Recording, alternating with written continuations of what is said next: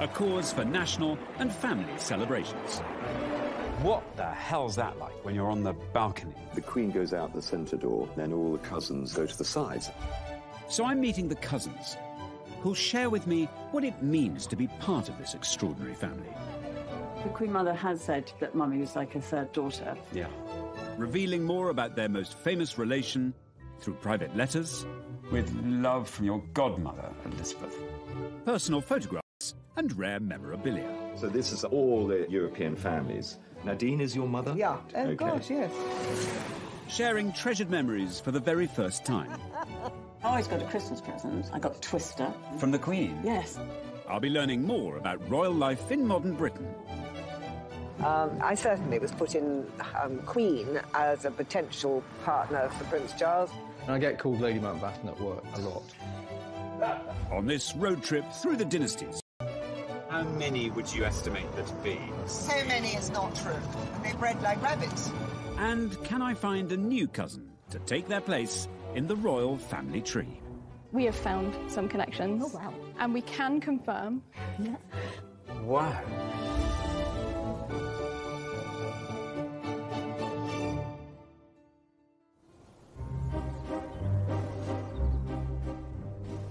Not again. Hello? Mrs. Romanoff. Um, technically, no. Mrs. Romanoff um, would be my mother. What are you selling me? Oh, well, this is very exciting. I'm on my way to meet my first of the Queen's cousins, Princess Olga Romanov. As you can see, I've travelled uh, inner Bulgaria. Uh, Not nonsense, we're in Kent. We're right in the middle of Kent, Kentish countryside. You can't really stop dust in a place like this. Even if I had a full staff, it would be pretty tricky. Oh. Olga lives at Provender House, which dates back to the 13th century. Often in the company of daughter Alexandra, affectionately known as Poggy, Why are you taking my tea towels and not their tea towels? You haven't washed them. I have! Where? What, these aren't washed? and grandson Andrew. Andrew, can I have a biscuit? Andrew. Princess Olga Romanov. Her great uncle was Tsar Nicholas II, you know, the, the famous last Tsar of Russia, who was a first cousin of George V. They looked almost identical, I think. They had sort of big moustaches. So, therefore, Olga is the Queen's third cousin. She's a princess. She's called Olga. The Queen used to take Charles and Anne to have tea with my grandmother, and they apparently had beautiful manners, and I had terrible manners. With no family riches to fall back on, this 30 room house has to pay its way. So Olga and her daughter now run one wing as a holiday let. What are you doing? I'm just putting that underneath. No, because I need to hoover. So Oh, sorry, this- darling. No, I have to lift up the rug. That's why um, I never help my daughter because she won't let me in. Ever. And, and she says I'm She's you know, causing bad, more issues. useless. So it's her baby, and I keep out the way. She does the washing. Which I always said I would never, ever do other people's dirty washing, ever. Luckily, now that this is up and running, this will, should bring in an income towards the 50 odd grand a year to keep the down, to keep the place. Mum, we got a crackle. Is the heating actually on? Yes. I can't. What, what, okay. I've turned the radiators down to two. I'm literally boiling. Olga is reputed to be uh, forced to be reckoned with. So uh, that's fun. I like forces to be reckoned with. I'm also hoping that she'll be something of a travelling companion for me as I explore my way through the world of the Queen's cousins. Provender House. There we are. Look at this amazing sign. Did it say what time services are?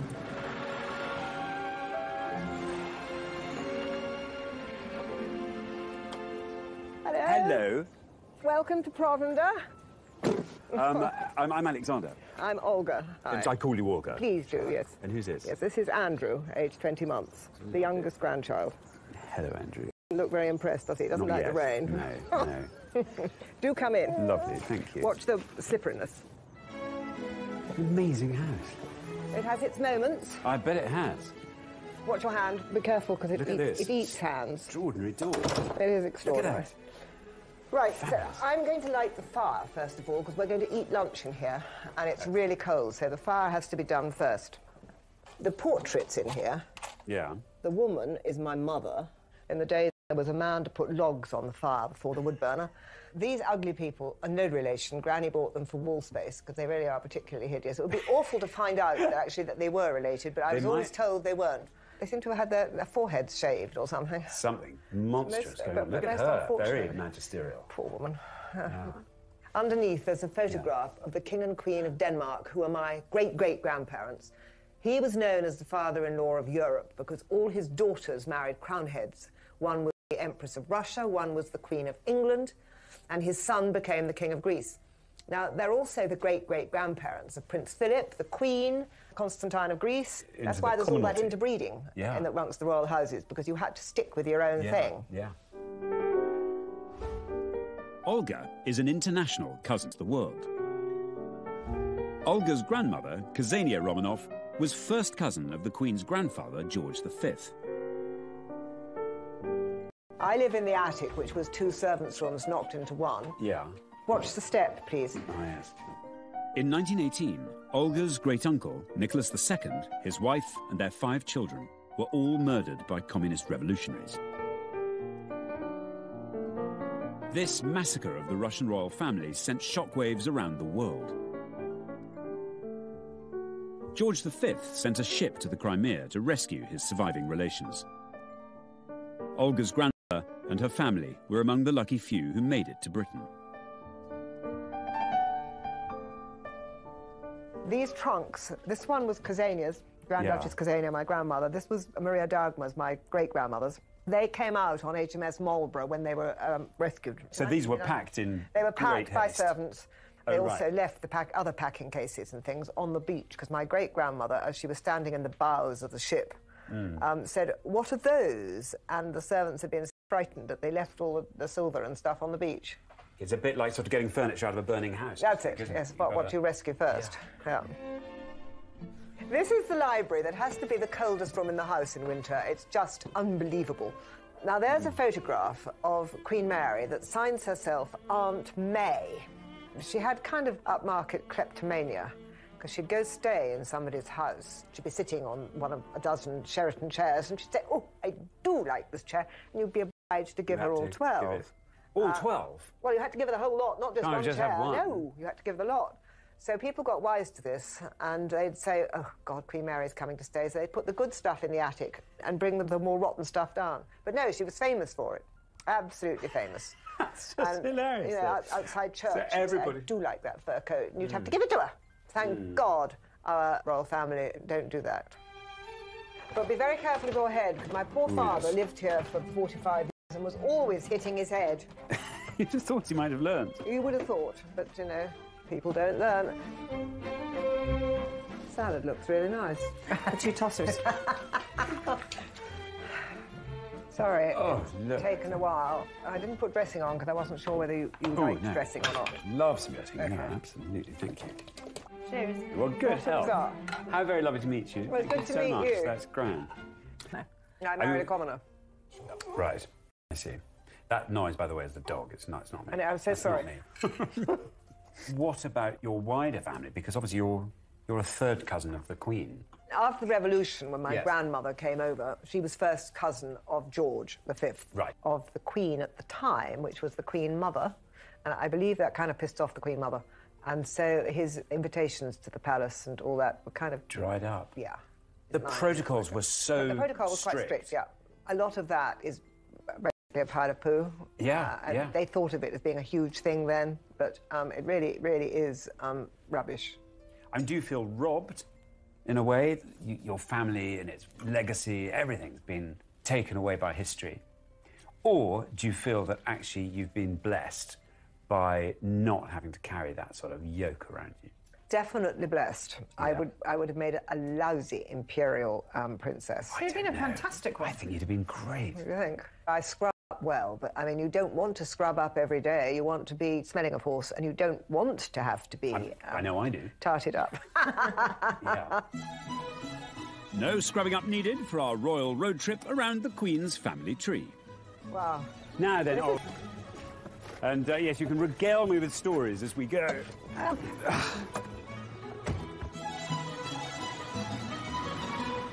you think there's a chance it's water?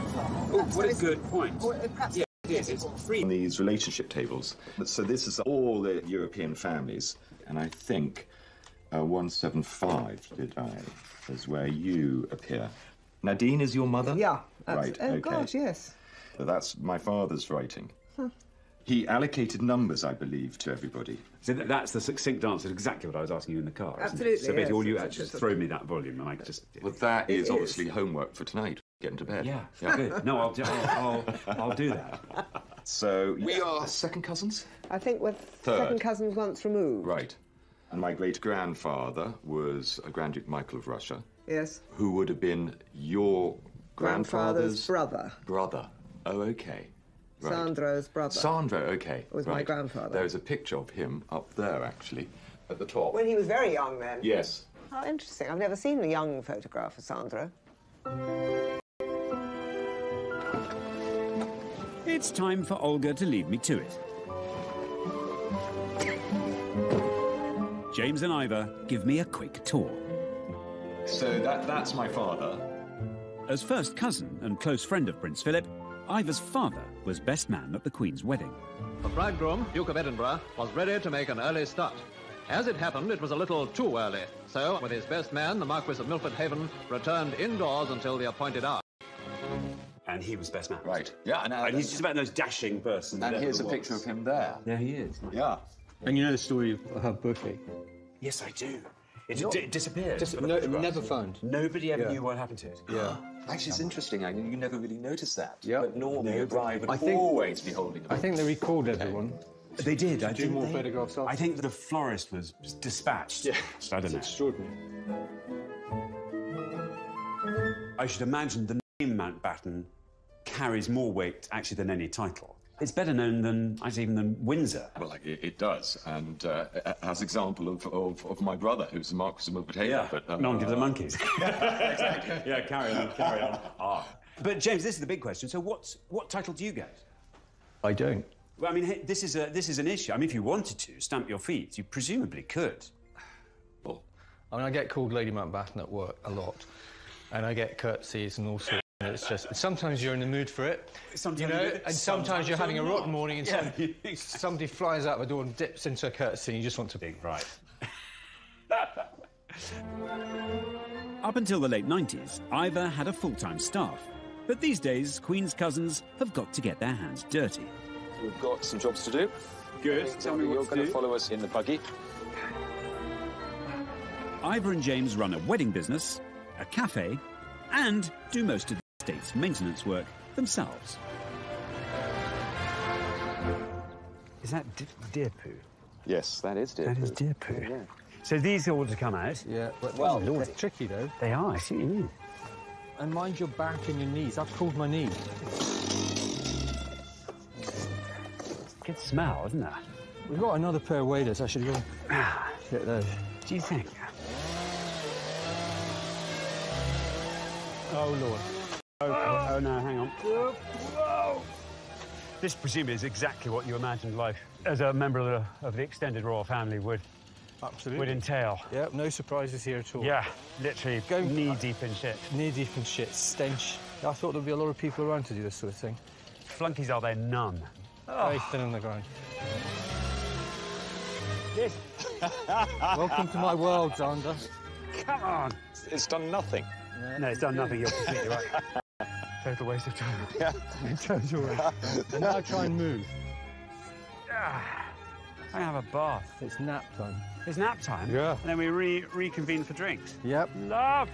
After a quick refresh, it's time to get ready for dinner. But this isn't quite your average Saturday tea time. There's a chef in the kitchen preparing our supper. And I've been told the dress code is a smoking jacket and no tie. So I've brought my best with me.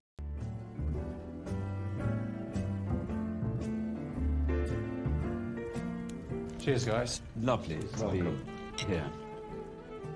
I have spotted, there's a photograph over there of the palace.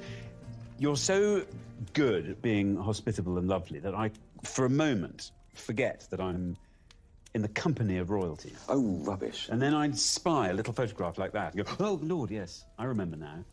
I remember why I'm here. What the hell's that like when you're on the balcony there? I mean, that's quite a thing. Well, that was me in 1967.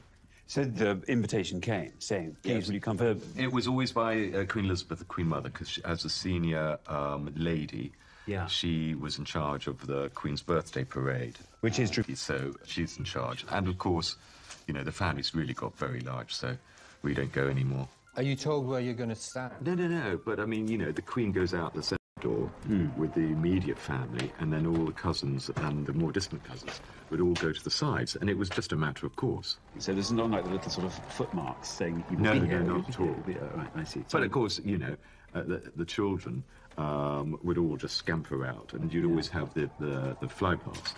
All the kids wanted to look at that and get in the best positions. So Yeah. they were sort of barging through to the front. Yeah. That's, you know, that was, that's kids, isn't it? James, what, what's it like for you joining this wider royal family and then joining Ivor's family? Obviously, uh, I'm not a dad, but now I'm a stepfather. Having them in, in my life has just been is amazing. James never really wanted to get married, and Yeah. I pushed him only because I wanted to validate him and give him a position because it couldn't have been easy being Ivor Mountbatten's boyfriend. So you think that that means that you're on equal terms, Yeah. doesn't it? And also, this is a this is a bold and brave new step for the extended royal family. I mean, you're the you're the first same-sex marriage in the royal Yeah. family, I think, aren't you? In any Yes. in any any, Any royal royal family, dynasty, really? absolutely. Really? I've made history. That's brilliant. You've made history. How on earth? There we go. Alexander, over there. Am I being interviewed? Although no official statement was made on this historic moment, Ivor and James's nuptials had the full blessing of the whole royal family. So this is a cauliflower soup served with parmesan beignet, roasted scallop, lemon thyme oil. Mm, that sounds fab. Oh, absolutely delicious. When you are together as a family, and when you've come in from the balcony, uh-huh. is it like a normal family? Yes, is it absolutely. complete- And that's what everybody Yeah. seems to forget. We all have our ups and downs. Of course. Everybody has their own internal arguments. And it's the same anywhere. But the formality is dropped. Yeah, oh yeah, absolutely. But of course, you must, you always, you will always remember that the Queen is the Queen. The Queen is the Queen. Uh, what's the protocol with the Queen? What do you call the Queen? Ma'am. Ma'am. You would say Your Majesty to begin with, um, and then always ma'am. That's just normal. Yeah, it's like when we went to school, we would always call the headmaster Sir. Sir, of course. Absolutely, you wouldn't Never. think anything of it. It was just Sir. Sir. Yeah. Go up to Balmoral? Do you go to... Uh, once, uh, you know, Prince Edward is a, is a, is a uh, we were all at school together at Gordonstoun. Gordonstoun is the royal choice, the school in northeastern Scotland to which the Duke of Edinburgh went himself. Prince Charles is said to have enjoyed as good a wish. And I actually, I have to say, I loved it. Did you? I It was was really the great next fun. question. Oh, yeah, good. it was really good. Good. fun. But you know, schooling has so changed over the years. Hmm. I wouldn't send my children to the north of Scotland. But when we were young, parents didn't really have an awful lot to do with their children. You know, and I think it was a fabulous school because it taught us a lot of independence. We all learned to sail. We'd go off all around the north coast of Scotland, learning to, you know, get on in close confinement. Uh, I loved it. Really loved it. Well, I've thoroughly enjoyed this somewhat unique evening, but I'm itching to get back on the road with Olga, as I'm hoping she might spill the beans about her history with Prince Charles. God, I was say virginal.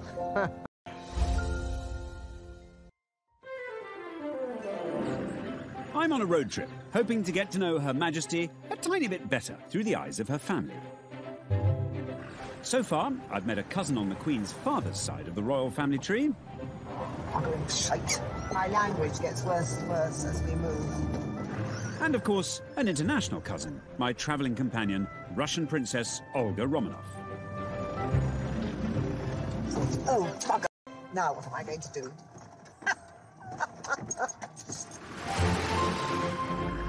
I mean, is there still a fairy story thing that attaches to royalty, do you think? Yes and no. Um, it all depends how many times they um, tell you about their um, problems on television, which I, Yes. I'm afraid I'm not very keen on. Yes, your view on the, on the Sussexes, for example. Not, not great. I mean, the Queen's never sat there and said about anything that makes her miserable, has she? She- Yeah. She's always got on with it. Just gets on. The most she ever did was that Annus Horribilis. What was it? She said Horribilis, Yes. yes. Which I thought was wonderful. I think a bit of mystique and, and all that is, is a very good thing. Oh, now we're driving round and round the green. Yeah, there we go. Shit, fuck. Sorry. Don't you? Oh, dear, dear, dear. No, it's all right. It's a big Lovely thing. Just time for one last cuppa with Olga before I leave her to meet my next Queen's cousin. Beautifully driven, by the way. Thank you. Thank you. Weren't you being lined up as potential partner for Prince Charles? Um, I certainly was put in um, Queen as a potential partner for Prince Charles. They did articles on the five foreign princesses that possibly could marry. Okay, when they were making putting that list together, what do you think the things they were looking for? A title, foreign, um, breeding, Yeah. and um, possibly because I was 17 and they were all quite young, a virginity. Go on, let's give her the benefit of the doubt. I was definitely. Down she I- goes. God, I was so virginal. Uh, so that was that. That sort of ticked the boxes. Yeah. You don't suppose someone in the palace reads these articles and puts them in an envelope and puts them under Prince Charles's door? Not quite. I'm in Norfolk to meet a cousin on the Queen Mother's side of the family, a Bowes Lyon. Around the corner, there are some nuts, all in pots. who also happens to be the closest of the Queen's cousins I'll be meeting. Anything else for you? No, that's everything. Thank you. Victoria Pryor is the great niece of the Queen Mother. Her mother, Margaret Rhodes, was the Queen's first cousin and closest companion. Which makes Victoria the Queen's first cousin once removed. She's also the Queen's goddaughter. I don't suppose anyone here in Cley knows that the person who's serving them their delicious, fresh baked cakes over the counter is the Queen's goddaughter and indeed first cousin. But uh, that's, I imagine that's probably how Victoria likes it to be. Can I get an Eccles cake, please? Yes. Thank you. I think what will be interesting when meeting Victoria is she's a Bowes Lyon, so therefore she comes from the family side of the Queen. She's not from the formal side, the royal side. And I think that's going to be fascinating.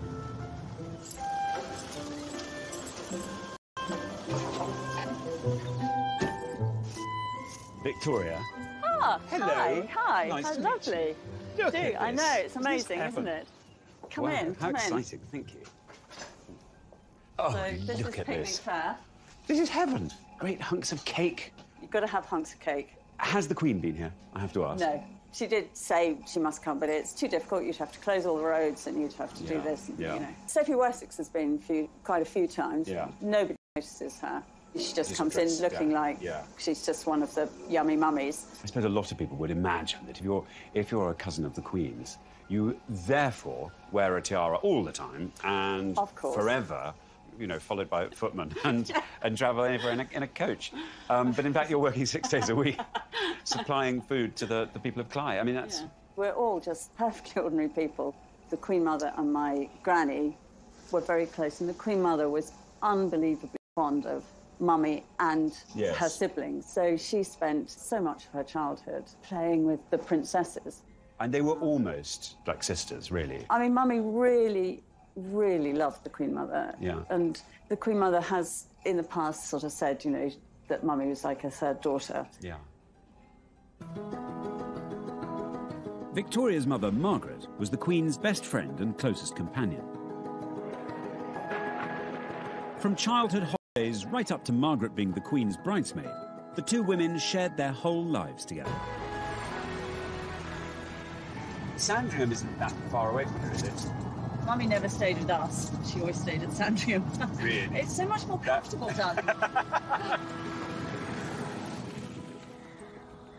What I think so fascinating is that being a Bowes Lyon, you're very, very, very close to the royal family and completely normal. Yeah. you're, God, you're yes. the, you know, your relationship with them is just like any family relationship. Yeah.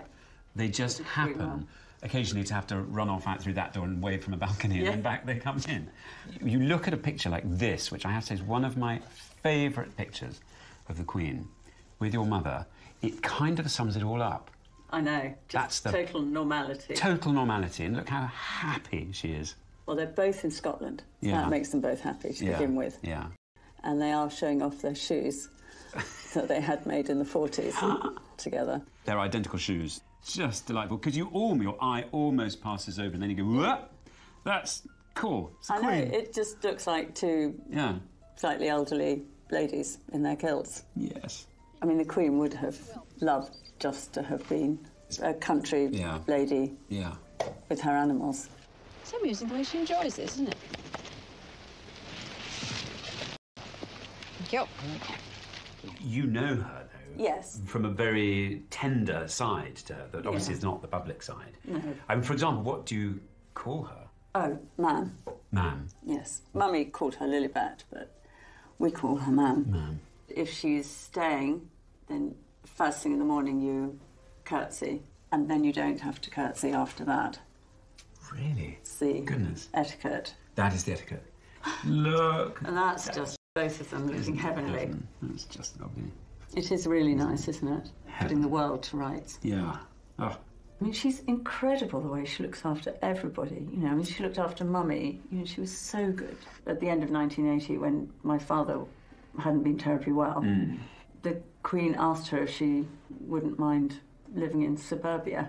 And Mummy was like, yeah. And she said, well, there's a house uh, in the Great Park, if you'd like it, which was a godsend. Yeah. And, you know, Mummy was back in the bosom of her family. That's Mummy and the Queen Mother. I'm not sure where that is, actually. She would come and have a swift alcoholic. Dubonnet and it. And it. It was lovely. This is our wedding. And all up there, that's the Dunbar family. Retired engineer Kathy Cormack lives in Tadworth in Surrey. We just grew up this family history all around us. We all knew we'd been descended from King Ethelred. it was it was well known in the family. Which would make her an extremely distant cousin of our Queen. I guess everybody wants to be related to royalty, and so is it true or isn't it true? And how can I prove it one way or the other and sort of sort it out? Great grandmother. Kathy's grandfather James believed his grandmother Jemima was the illegitimate child of Elizabeth Nichol and one Sir George Dunbar, a Scottish nobleman and rumoured descendant of King Athelred.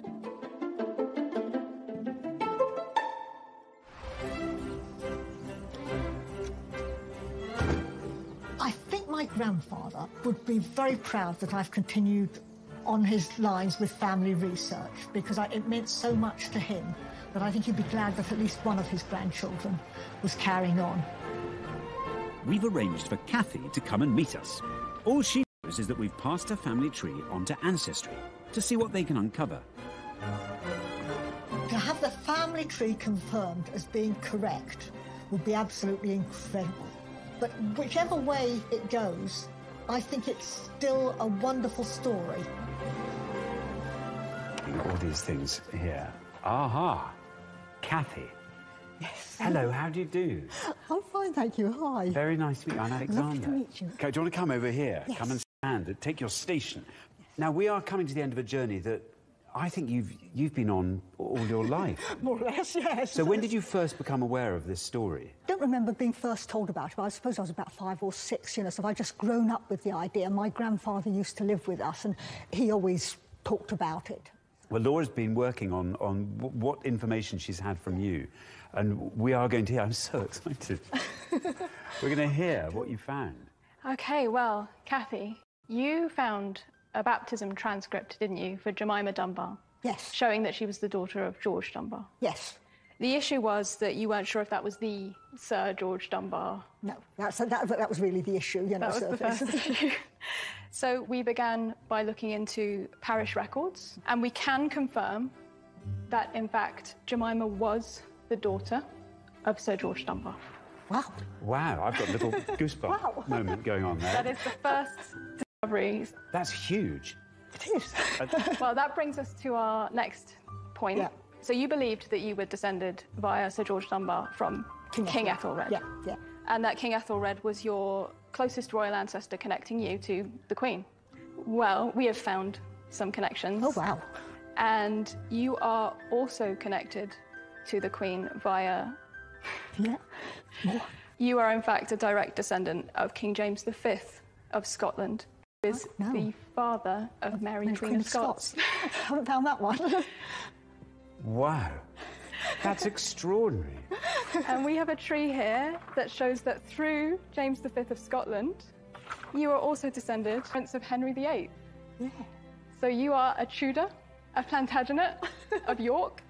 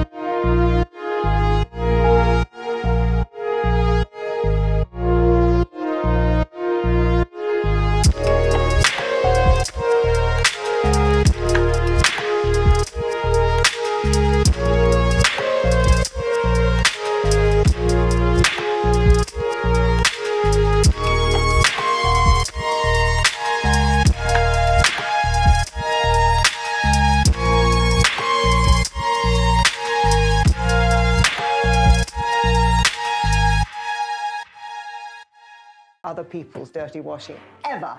Luckily, now that this is up and running, this will should bring in an income towards the 50 odd grand a year to keep the down, to keep the place. Mum, we got a crackle. Is the heating actually on? Yes. I can't. What, what, okay. I've turned the radiators down to two. I'm literally boiling. Olga is reputed to be uh, forced to be reckoned with, so uh, that's fun. I like forces to be reckoned with. I'm also hoping that she'll be something of a travelling companion for me as I explore my way through the world of the Queen's cousins. Provender House. There we are. Look at this amazing